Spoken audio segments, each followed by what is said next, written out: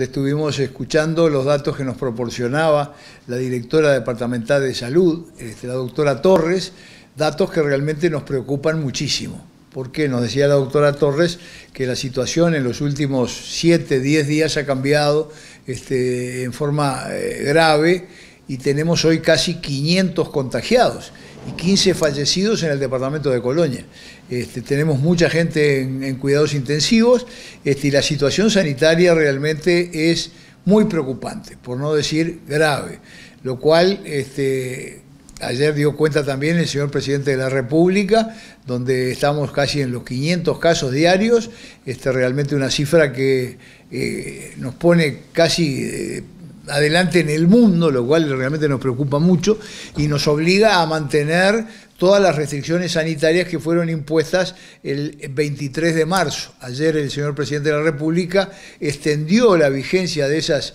eh, prohibiciones, de esas restricciones a la movilidad, evitar las aglomeraciones, este, mantener cerradas las oficinas públicas, salvo aquellas que presten servicios imprescindibles. Nosotros acá en la Intendencia de Colonia también vamos a prorrogar, se prorrogó hasta el 3 de mayo este cierre de las oficinas públicas y la Intendencia de Colonia va a disponer es exactamente lo mismo. Va a cumplir con las funciones imprescindibles, aquellas de las cuales este, no, no podemos tener este, carencia, como la recolección de la basura, como la limpieza, como el alumbrado, como los, el funcionamiento de los cementerios y otras funciones este, que son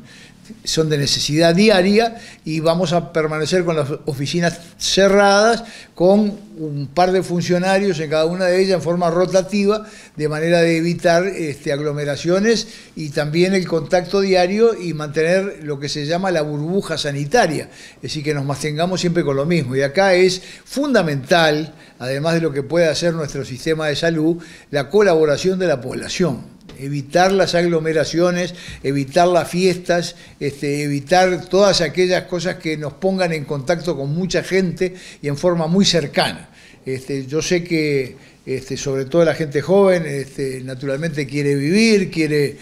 tener relacionamiento con sus semejantes y como están cerrados los espectáculos públicos y como están cerrados determinadas actividades nocturnas, a veces se aglomeran. Bueno, queremos pedirle la colaboración porque lo que no queremos es que haya